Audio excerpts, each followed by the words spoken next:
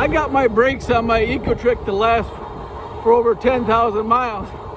And how I did that is I would try to anticipate stops. Just like you do with, with a car, you go flying up the intersection and then hit it, slam on the brakes, your brakes ain't gonna last very long. Like here, I know I'm gonna be turning up there. There ain't no one here behind me. So I just stop riding and I just coast into it here. Once I'm going slow enough, then I just keep going. And that's how you make your brakes last for over 10,000 miles on your bike. Well, alrighty, this is Papa Blue Shirt. Hope that was helpful. Goodbye, good luck, and may the good Lord take a liking to you. May the good Lord take a liking to you. Spread